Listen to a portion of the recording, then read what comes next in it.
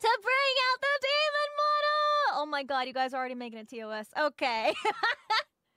you know what? Really quick before we uh we get into the stream today.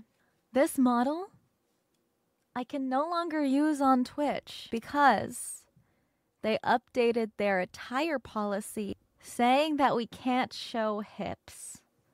So, what I did was I censored I censored it. My hips are covered. So, I can still use this.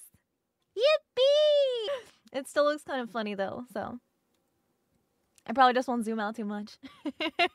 I know those big, scary, scary, scary hips. I'm not too happy about it. Contrary to popular belief, I'm actually a very intimidating demon girl.